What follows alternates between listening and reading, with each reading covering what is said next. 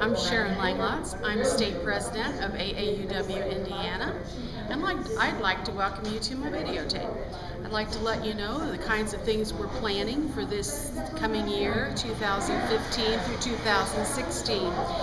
We're going to focus on mission-based programming and try to do more advocacy-based uh, projects that, that bring our state platform into reality around Indiana. It may mean hosting some ad hoc meetings on pertinent topics, and we'll do more teleconferencing and communicating not only with the state board but to the uh, branches and members through email.